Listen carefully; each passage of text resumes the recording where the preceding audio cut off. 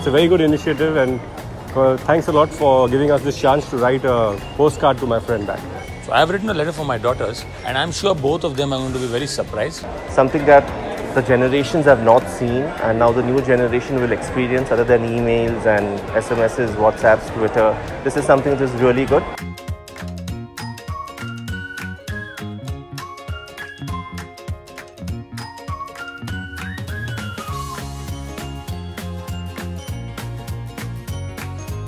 This is something handwritten by Papa for Nemish and Parshva, which Nemish and Parshva would love. It was indeed a pleasant one and very unexpected. I didn't knew that uh, this kind of surprise uh, I would get it on this special day.